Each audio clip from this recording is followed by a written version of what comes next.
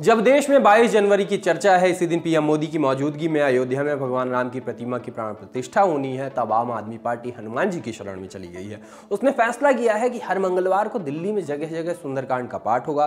केजरीवाल भी शामिल हुए, जनता को भी न्योता भेजा गया। पहले भी पार्टी कार्यकर्ताओं, विधायकों द्वारा सुंदरकांड कराया जाता रहा है, मगर अब पार्टी ने ये तय किया कि इसको पार्टी के तौर पे एक स्ट्रक्चर्ड तौर पे जो है, इसको हर महीने कराया जाएगा। इसको दिल्ली की सभी विधानसभाओं में आम आदमी पार्टी करवाएगी। उसमें विधायक हमारे हमारे पार्षद और हमारे जो संगठन के सब लोग हैं, वो लोग उसका हिस्सा लेंगे।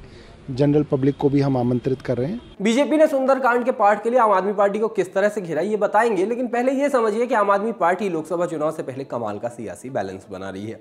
वो इंडिया गठबंधन में है जिसमें शामिल कांग्रेस और लेफ़्ट पार्टियों ने प्राण प्रतिष्ठा के कार्यक्रम में जाने से साफ़ इनकार कर दिया है। ये आरोप लगाया कि आर और बीजेपी का सियासी कार्यक्रम है मंदिर तो अभी पूरी तरह से बना तक नहीं है। वहीं आम आदमी पार्टी प्राण प्रतिष्ठा के कार्यक्रम को गर्व की बात बताती है। ये आरोप आप लोगों के ऊपर लगेगा कि राम मंदिर के उद्घाटन नहीं गए प्राण प्रतिष्ठा में नहीं गए लेकिन उसको कॉम्पनसेट करने के लिए आप सुंदरकांड का पाठ करवा रहे हैं। ये आरोप यही सोच है क्या इसके पीछे?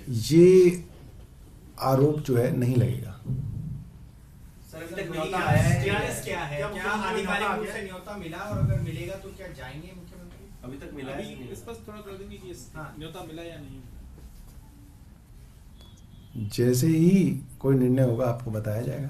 मैं आप सब लोगों को पूरे देशवासियों को आम आदमी पार्टी की तरफ़ से बधाई देता हूँ कि राम मंदिर के अंदर प्राण प्रतिष्ठा हो रही है। ये बहुत खुशी की बात है, ये बहुत गर्व की बात है। हम सब लोग बहुत खुश हैं। इंडिया गठबंधन की बाकी पार्टियों की तरह बीजेपी हिंदुत्व के मुद्दे पर आम आदमी पार्टी को नहीं घेर पाती है। केजरीवाल अक्सर मंदिरों और खासकर हनुमान मंदिरों में जाते रहते हैं। राम मंदिर को लेकर जब सुप्रीम कोर्ट का फैसला आने के बाद केजरीवाल ने राम मंदिर बनने पर दिल्ली के बुज़ुर्गों को दर्शन कराने का वादा भी दिया था। मैं दिल्ली के लोगों को, दिल्ली के हमारे सारे बुज़ुर्गों को कहना चाहता हूँ कि एक बारी मंदिर बन जाए, आप सबको अयोध्या के फ्री में दर्शन करना लेकिन ऐसा नहीं है कि सुंदरकांड कराने पर आम आदमी पार्टी की चुनावी समझ की ही चर्चा हो। बीजेपी से पहले एआईएमआईएम के अध्यक्ष असदुद्दीन ओवैसी ने उन्हें आरएसएस का छोटा रिचार्ज कहा। ट्विटर पर उन्होंने लिखा कि बिल्किस बानो के मसले पर चुप्पी रखते हैं, लेकिन हिंदुत्व को मज़बूत करते हैं। दरअसल, गुजरात में विधानसभा चुनाव के पहले जब बिल्किस बानो के रेप के 11 दोषियों को उनके आचरण को देखते हुए जमानत दी गई थी, तब आम आदमी पार्टी बोलने से बचती हुई नज़र आई थी। आप तो वही कर रहे हैं जो मोदी चाह रहे हैं। भाई आप सरयू नदी को जाएँगे कोई कहता है वहाँ नहीं जाएँगे। कोई राष्ट्रपति कह रहा है कि नासिक आ जाइए। कोई कह रहा है कि दिल्ली के स्कूल अस्पतालों में हम हनुमान चालीसा और ये कर देंगे। तो फिर फ़र्क क्या बचा है आप में? वैसी के अलावा बीजेपी भी सुंदरकांड के पाठ को लेकर आम आदमी पार्टी और अरविंद केजरीवाल पर लगातार हमलावर है। इंडी अलायंस के घटक दल सनातन धर्म को गाली देते हैं। सनातन धर्म को, हिंदू धर्म को नष्ट करने के लिए साजिश अपनाते हैं और अरविंद केजरीवाल जी उनसे गले मिलते हैं, उन्हीं के अलायंस के सदस्य हैं। सुंदर कांड कराएँगे, बहुत अच्छा है।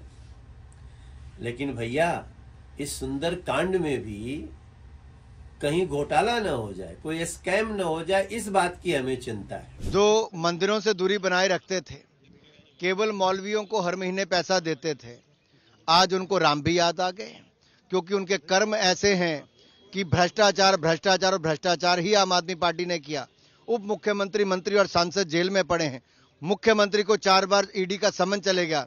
जब तक ये कयास लगते रहे कि आम आदमी पार्टी के संयोजक अरविंद केजरीवाल अयोध्या में हो रहे प्राण प्रतिष्ठा के कार्यक्रम में जाएँगे या नहीं, आम आदमी पार्टी ने अपनी लाइन क्लियर कर दी है। दो कतारें हैं और उसका एक पैर इंडिया गठबंधन वाली लाइन में है और दूसरा उस लाइन में भी जो बीजेपी लेती रही है। इस खबर के लिए इनपुट दिया है इंडिया टुडे से जुड़े पंकज जैन ने। मैं आशीष, देखते रहिए दी ललन टॉप।